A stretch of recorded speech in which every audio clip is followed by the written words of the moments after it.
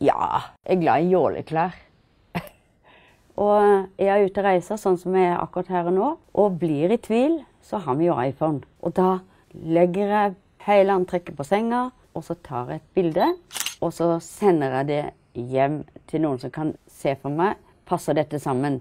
Og en gang så gjorde jeg det, og da fikk jeg tilbake hm, har du tatt bilde av noe?